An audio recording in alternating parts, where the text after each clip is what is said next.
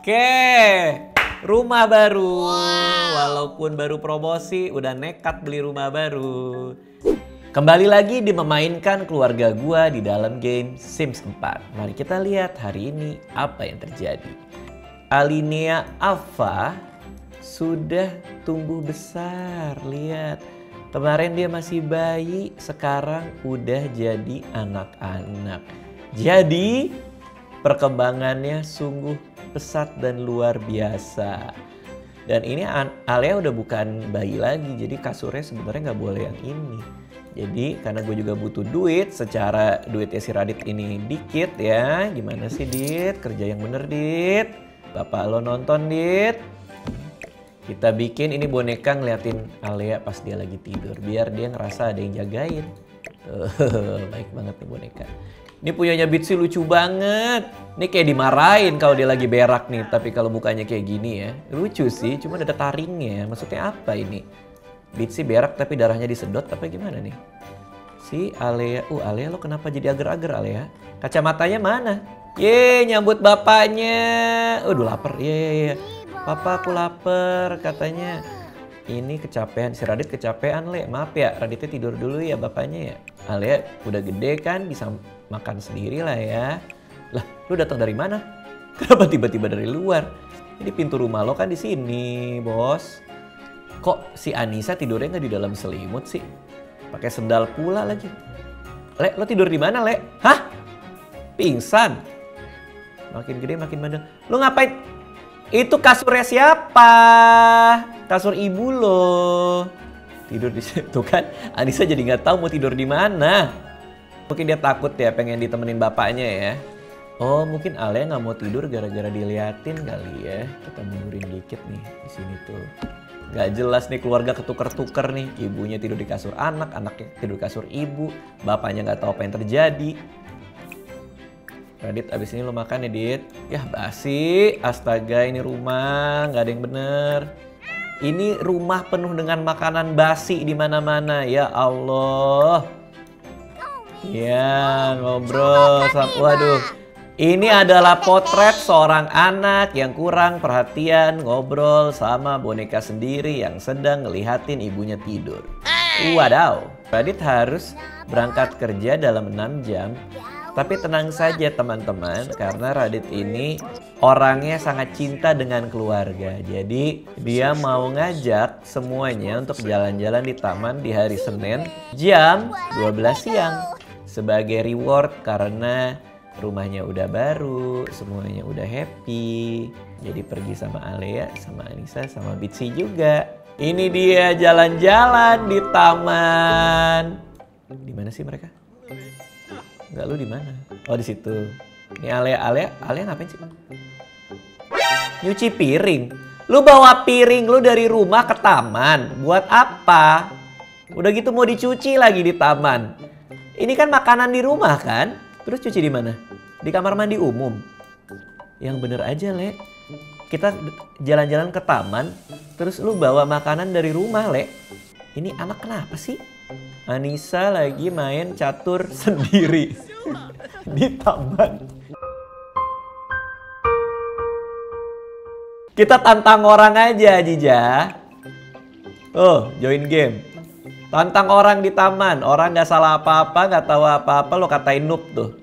Ya Allah, orang gue mau main. Ya dia datang, orangnya pergi. Alea, nih kan lo anak baik le. Kita ajak ngobrol orang-orang yang kita nggak kenal ini yuk. Oh ini artis, artis, artis, selfie, selfie. Anissa juga belum IG story hari ini. Oh, Alea ketemu artis. Selfie le. Boleh nggak selfie? Boleh. Hah? Ale harus sekolah. Tiga hari lagi Ale harus sekolah. Ini Radit 4 jam lagi ya.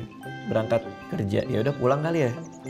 Alea lagi nonton TV dengan muka yang sangat bahagia karena telah berhasil nyuci piring di taman orang ya, taman orang-orang itu. Ayo kejar-kejaran waktu antara mandi atau kerja. Nggak usah main-main, lu mau kerja. Ngapain masih main-main? Oke, Anissa lagi ngobrol sama Alea. Alea ngobrol sama Anissa, tapi ngobrolnya belakang-belakangan. Nggak sopan ya, Alea ya. Nah ini buat Alea. Alea kan lapar ya. Di Alea makan di sini. Ditsi, orang lagi makan, lu kenapa berak? Di depan makanan sendiri. Waduh, tainya banyak bener. Ya Allah. Jadi si Alea ini pas lagi istirahat di sekolah, nggak ada yang mau main sama dia.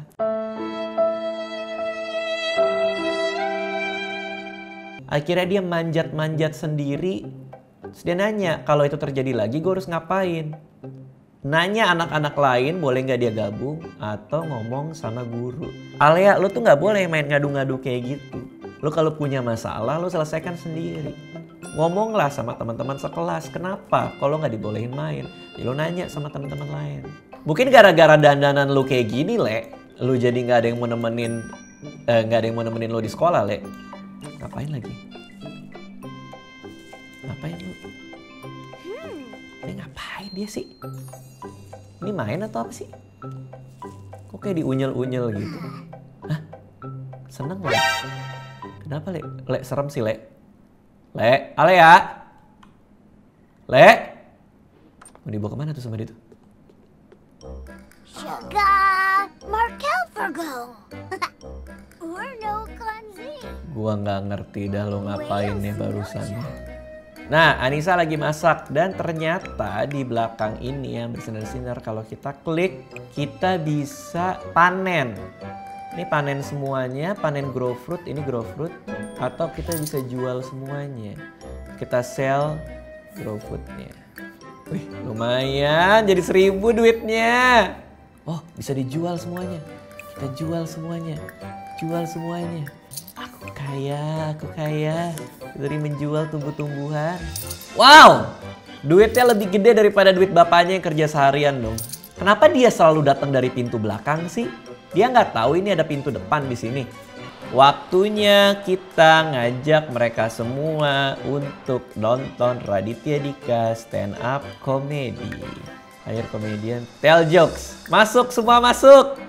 Lah, ya gue salah. Malah istri. Ya, bukan lu. Bukan, bukan. Bukan, bukan. Radit, Radit. Itu bukan kerjaan Anda, Nisa. Pekerjaan suami Anda.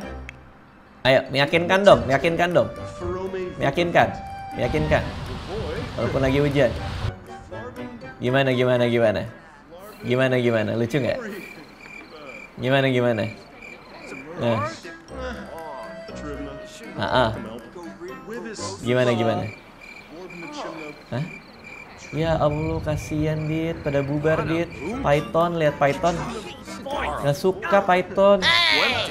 Astaga, Python nggak suka. Ini gue lagi stand up itu, lo nonton gue lah, respect lah, hargain lah.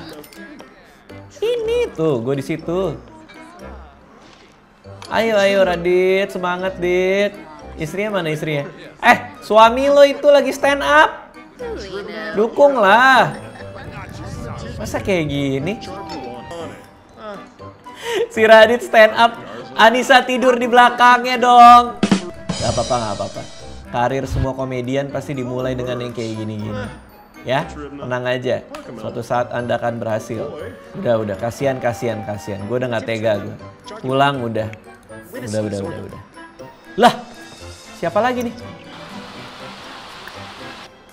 Kenapa lu datang ke rumah gue hujan-hujan? Gue gak kenal lo siapa. Ya makan bareng dong orang baru kenal. Oke, nah karena lo kan di sini nih, lo lihat gue stand up dah. Tidur lagi si Anissa. Jatuh dong. Jalanannya juga di sini. Kenapa anda terbalik? Mikrofonnya terbalik ternyata. Jatuh. Eh, gue manggil ke sini. Ya, jatuh. Kepleset semua dua-dua. Bego-bego banget dah, sumpah. Ya Allah, mau ngejok di luar gak bisa, pulang pulang ke rumah juga kepleset. Ini lagi orang baru kenal udah ke dalam WC. Dia pulang, pulang, pulang, pulang. Dan jangan balik lagi Anda orang aneh. Uh-uh, kasih tahu tuh, Nis. Ya. Ya, betul. Ya, ya, ngerti kan?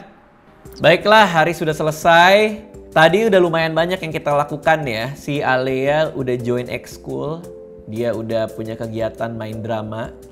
Lalu si Radit uh, masuk nyobain komedi club barunya dia, cuman sayangnya dia nggak direspon sama orang-orang karena Anissa malah tidur di belakang dia ketika dia lagi stand up. Tapi kabar baiknya adalah kita jadi tahu bahwa Anissa di belakang rumahnya ada kebun dan dia bisa ngejual barang-barang ini dengan harga mahal. Tuh, udah bisa lagi nih jual lagi nih. Hmm. Kita lihat kelanjutannya bakal ada apa di keluarga komputer gue. Nah, situ. Nah, gitu lihat tuh, tuh. Biar orang-orang yang masuk tahu kan, lihat tuh, injek aja, injek, injek.